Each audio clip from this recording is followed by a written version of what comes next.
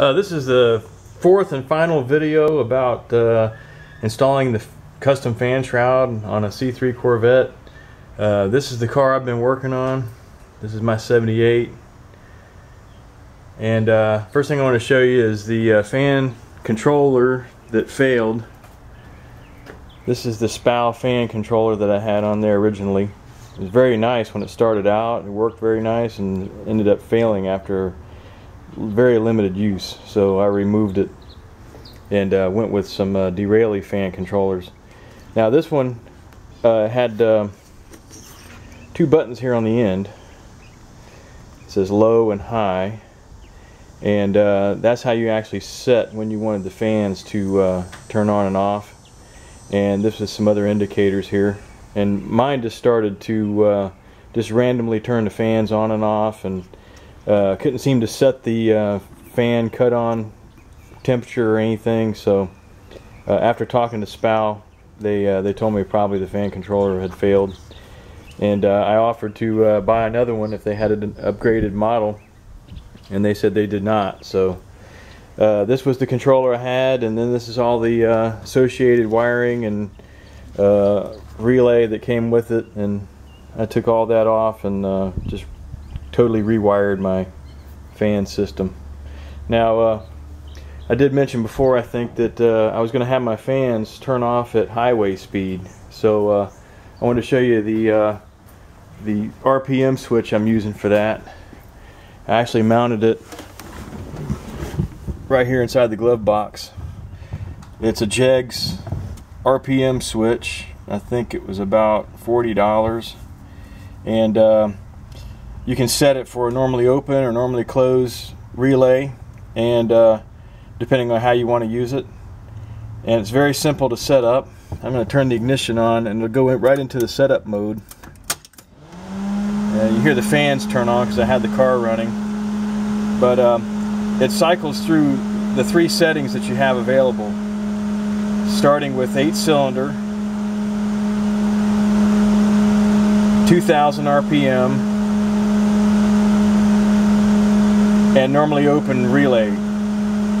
Now when that pauses on any three of those settings you can change it. For example 8 cylinder you could change it to 6 cylinder if you're running a 6 cylinder engine and uh, there's where you change the RPM where you want the switch to change and then uh, normally open there you'll notice that's the uh, the contact closure that I uh, set for what I'm doing and anytime that the engine's turning over 2000 RPM the fans will turn off meaning that you would be at highway speed and uh, you wouldn't need the fans to operate you'd have enough ram air to cool the engine so uh, I've already checked this thing out. Everything works on it.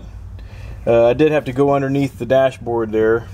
I ran my wires from the glove box there where the RPM switch is and I went over and uh, tied my power into the uh, fuse box and then also the uh, it needs a tach signal as well and I just went up under the dash and tied into my my tach wire that came from my distributor. It seems to work very nice. Uh, I also, if you notice, there's a, uh, a four pin Molex connector there so that I can just unplug that and pull my my uh, glove box out if I need to. Okay, so now we're going to take a look under the hood and we'll see the fan shroud and we'll talk about the wiring.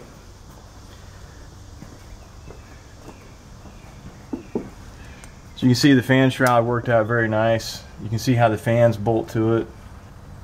And uh, up above it I put, I believe that's a one and a half inch uh, angle, angle aluminum. Also put a, uh, a rubber edge on it here. And this is where I brought the harness up and connected the fans and the controllers uh, where you could get to them. And uh, I've got it set so that, or I got it set up so that you can remove that aluminum angle with the two bolts at the ends. This bolt here and then you'll see the other one on the other side. All stainless steel fasteners on this. And uh, you can swing that out of the way unbolt the fans and pull the radiator right out if you ever need to service the radiator for any reason. And uh, all of the control wiring and the power and everything comes down this side of the car in that conduit there right around the radiator cap runs up on this side of the car, passenger side of the car, up to few, two fuses. Now this is the two fuses that go to the to the main power for the fan. So they're 30 amp fuses each. So one's for one fan and one's for the other. This goes down and ties to the starter where the main feed comes from the battery. And uh, I've also got a ground wire in here that's for the uh, fans, and it also ties to the um, engine block down where the ground ties from the frame of the car to the to the engine. Uh, and then I added this uh, terminal block here. This this comes from the from the instrument panel or from the inside of the car, and uh, the blue wire actually comes from my RPM switch which grounds my control relay to actually turn the fans off at highway speed. And then I have a, uh, ignition feed, which you need to uh, actually operate the fans or operate the controllers. And then I have another wire here that's just 12 volt fused all the time. And I'm not using it for anything. I just added it in case I needed uh, 12 volts out here in the future. Now, uh, if you notice uh, on the control side of things here, I have a uh, um, terminal block here that comes from the inside of the car, basically the wiring and the power and all that. And then uh, that's where I interface everything with the, uh, with the controllers. And then this relay here is the one that interrupts power to the fan when the engine reaches 2000 RPM or whatever RPM I select and interrupts the fan power so that at highway speed the uh, the fans won't operate. Uh, now I selected 2,000 RPM because this engine has or this vehicle has a 411 gear ratio, and most all the time at highway speed I'm turning at least 2,000 RPM. Uh, so, and then also here is where the main power. These are big heavy wires because the fans are, you know, at least 15 amps each. So I have the the power, main power coming in off my two fuses that come come here to this terminal block, and then of course the two Derale uh, fan controllers sitting there. The one on the left actually controls the fan on the left, and the one on the right controls the fan on the right. So you're not going to get confused. So um, what I uh, what I have here, I have the the first one set uh, for the first fan to come on at about 170 or so and then the second fan comes on at around 200 and I was going to try that and, and see how that works out for me uh, you can set them to come on and off whenever you want. Um, you actually set an on an on point. You can disconnect your fans and let your engine warm up to some temperature and then have the uh, tweak the uh, the little pot that's inside there so that you can uh, set it to come on where you want. And once the engine cools off by about 10 degrees they'll turn off now I'm going to go over to the other side of the car show you a little closer on the fan controllers here. These two little rubber plugs are what hides the actual uh, uh, trimmers that you uh, trimmer pots inside here that you can uh, actually set the uh, temperature to come on at. Uh, they also have two Molex connectors here that go a short pigtail from the controllers.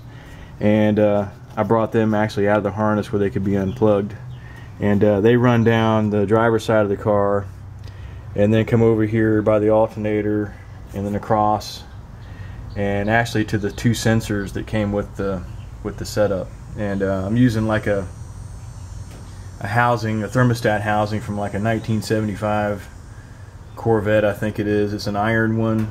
It has uh, two ports there where you can actually screw those in. Because in 1975 they had a lot of pollution garbage on them, a lot of temp sensors and things. And if you get one of those, you can have two locations there for your uh, for your sensors, one for each controller.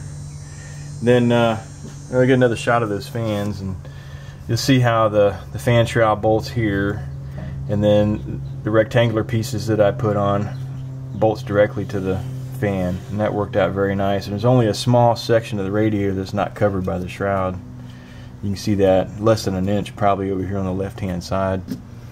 And it's in terms of clearance issues this is what I was talking about before. You can see where the bushing to the A-arms uh, comes up here. It comes up really close so you do have to move the fan over as far to the right as possible.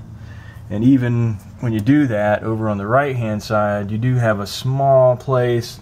Actually the bolt from that strut might even be touching that fan shroud a little bit but I don't think it's going to be a problem so I'm going to go underneath and show you how the fan shroud looks at the bottom we'll just slide right into the car here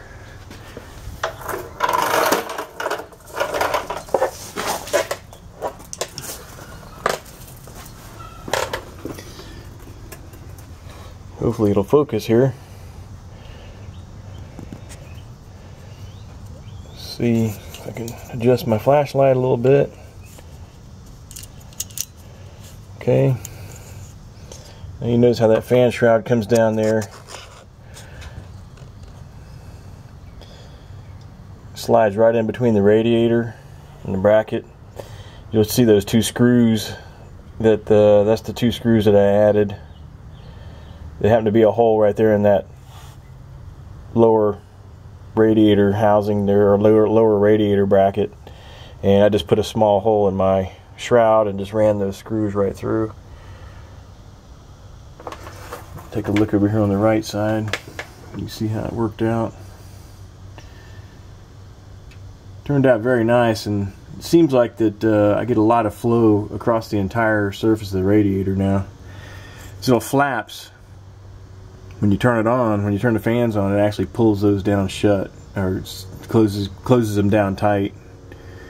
And then uh, supposed to at highway speed, if the fan's off, then ram air through the radiator, just blow those open and vent more air out through that way.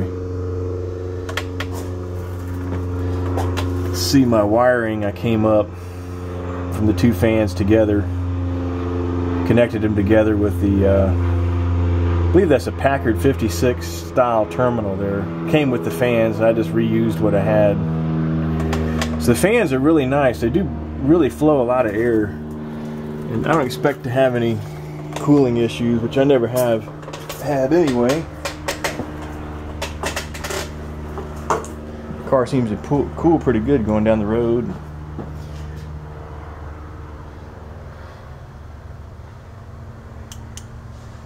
was quite a bit of work to do this, a lot more than what I expected.